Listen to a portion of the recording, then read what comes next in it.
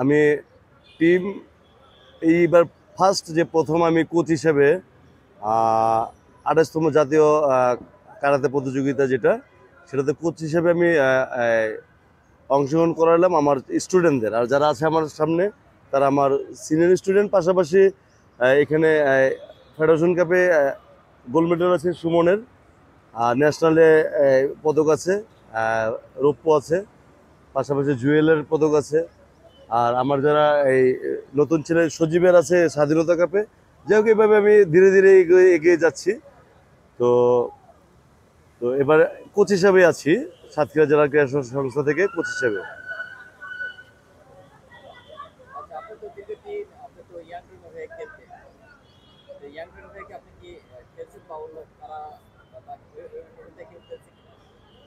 আসলে এই খেলাটা হয় সংস্থার নামে যদি আপনারা বললেন যে ইয়াং ড্রাগনের কথা যেহেতু উঠাইলেনি যেহেতু আমি ইয়াং ড্রাগনের ছাত্র, তো এই কথা শোনার পর একটু নিজের মনটাই খারাপ হয়ে গেল যে আসলে একটা সময় গিয়েছে যে আমাদের ইয়াং ড্রাগনের যখন আমরা টিম করেছি, আমরা একটা টিম করলে, যেমন আমি, আলেক ভাই, চিতা ভাই, তারপর ছিল কি বলে সুহেল ভাই, বিপ্লব ভাই হ্যাঁ যে বিথি সাথী, আমরা যারা ছিলাম তো আমরা টিম করলে সারা বাংলাদেশ একসাথে টিম করলে ইয়াং ড্রাগন যেটা ফেডারেশন কাপ যেটা হতো, তো তখন সারা বাংলাদেশ একসাথে টিম করতো আর আমরা ইয়াং ড্রাগন একসাথে টিম করতাম।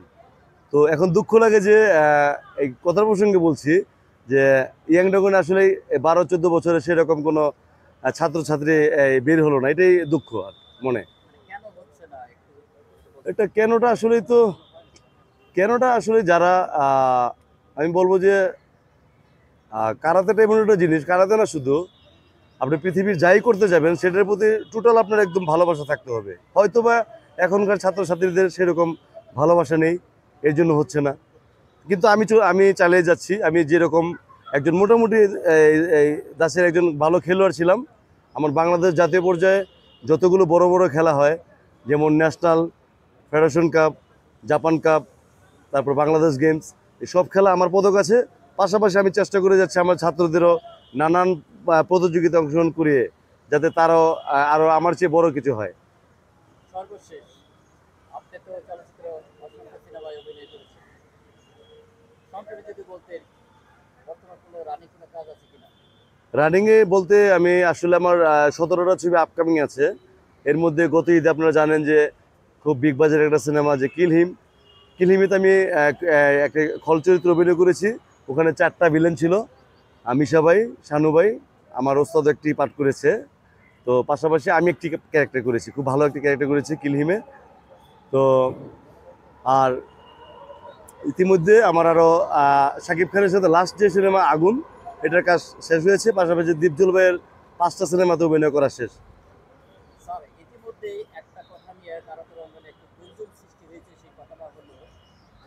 বাংলাদেশের মার্শালের মার্শালের জনক এই কথাটা নিয়ে একটু গুঞ্জন উঠেছে আসলে এই বিষয়টা হচ্ছে উস্তাদ জাহাঙ্গীর আলমকে নিয়ে কথাটা কিন্তু উঠেছে এটা কীভাবে দেখছেন? আসলে, এটা তো খুব জটিল একটাই প্রশ্ন। তো আমরা যখন কারাতে শুরু করি, নব্বই দশকের এই প্রথম দিকেই, তো আমরা তো সবসময় জেনে আসছি যে ওস্তাদ জাহাঙ্গীর আলম বাংলাদেশের প্রথম জাতীয় কোচ। সেই হিসেবে ওস্তাদ নামটা তার সামনে ছিল। এখন যেহেতু একজন এই সুপ্রিম কোর্টে মানে বা কোর্টে উচ্চ আদালতে যেহেতু রিট করেছে এটার উত্তর সদুত্তর দেওয়ার অপেক্ষায় থাকতে হবে একজন একজন সচেতন নাগরিক হিসেবে। কারণ আমি এখন কি বলে এটাকে, যেহেতু আদালত পর্যন্ত গড়িয়েছে, সেটার উত্তরের অপেক্ষায় থাকতে হবে যে এটা কি হয়। আচ্ছা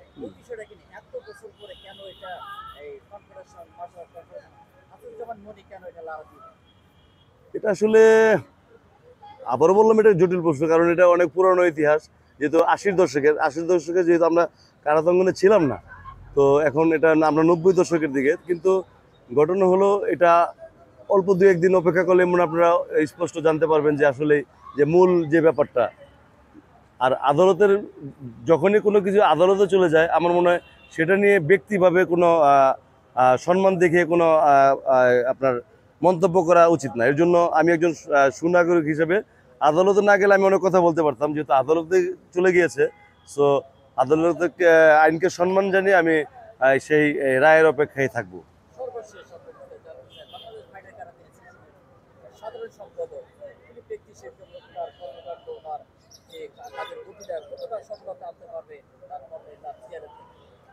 আসলে সেক্রেটারি যে ব্যাপারটা খুব খুব কঠিন একটা ব্যাপার একটা সমিতির যে কোনো একটা সংগঠনের মূল চালিকা শক্তি কিন্তু জেনারেল সেক্রেটারি আমি মনে করি।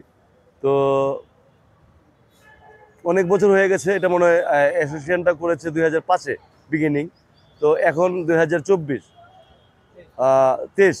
তো পাঁচ আর তেইশ, মাঝখানে আমরা ছিলাম না, আমরা কিছুদিন দুই বছর, তিন বছর আগে অ্যাড হয়েছি। তো বিগত পনেরো ষোলো বছরে সেরকম কোনো আশার আলো- আলো দেখিনি। তো হয়তো এখন যেহেতু আমরা সবাই একত্রিত হয়েছি, হয়তো হতে পারে। কিন্তু এই প্রপারলি এখনও আমি কত দূর আগাবে বলতে পারছি না। তো খুব যে এগোচ্ছে তাও বলব না, একেবারে খুব পিছনে তাও বলব না। সামনে যেহেতু আমাদের একটি গেম আছে ফাইটার ক্যারেটি বাংলাদেশ ফাইটার ক্যারেটির সেই গেমটার উপর ডিপেন্ড করছে যে আমাদের এই অ্যাসোসিয়েশনটা কত দূর আগাবে? গেমটা যদি সাকসেস হয় যেভাবে প্রাইজ মানি দেওয়ার কথা বাংলাদেশে এখনও কোনো প্রাইজ মানির খেলা হয়নি এত বড় প্রাইজ মানি যদি সেটা হয় আমার মনে হয় সেটা শুধু সেক্রেটারি না এই অ্যাসোসিয়েশনটা এগিয়ে যাবে। এখানে মানে মানে এখন ঘটনা হলো এই এটা আমারও প্রশ্ন। প্রশ্ন কার কাছে করব? আমি একা একাই নিজেকে প্রশ্ন করি যে এত বড় বড় টপ মানুষগুলি থাকতে কেন এটা পিছিয়ে যাচ্ছে? কিন্তু আসলে বলে না যে অনেক কিছু বলতে নেই অনেক কিছু দেখেও দেখতে নেই। এখন দুঃখ ছাড়া বা নিজে নিজে একা আহ, বিষণ্ণতা বোধ ছাড়া কিছুই বলার নেই। তো এই প্রশ্নটা না হয় প্রশ্নই থেকে গেল। আমি সরি যে উত্তর দিতে পারলাম না। তো আসলে উচিত ছিল যে এত বড় বড় মানুষ থাকার অবস্থায় অনেক দূর এগিয়ে যাওয়ার কথা ছিল। পাশাপাশি আমরা যেহেতু তা এই অ্যাসোসিয়েশনের বা ফাইটার ক্যারেটির স্টুডেন্ট আমি আলেকজান্ডার বো, চিতা, এরকম অনেক নাম বলে গেছে, সুহেল তারা আমার সিনিয়র বাট আমরা যেভাবে এটাকে বাংলাদেশে আনাচে কানাচে ফেডারেশন থেকে জাতীয় পর্যায়ে নানা নানান পদক নিয়ে আমরা এগিয়ে নিয়েছিলাম। আমার মনে আরও অনেক এগোতে পারতো। কিন্তু আমরা বাস্তবতায় অনেক পিছিয়ে আছি এখনও আপনাকে অসংখ্য ধন্যবাদ আপনি আমাদের সাথে সময় দেওয়ার জন্য ধন্যবাদ, ভালো থাকবেন এবং আমার যে টিম আমি এবার ফার্স্ট প্রথম জাতীয় মানে একটা খেলায় কোচ হিসেবে টিম নামা নামানো হয়েছে, আমি নামিয়েছি। তো সবাই দোয়া করবেন, আমার টিমের জন্য দোয়া করবেন, আমার প্লেয়ারদের জন্য দোয়া করবেন। ধন্যবাদ।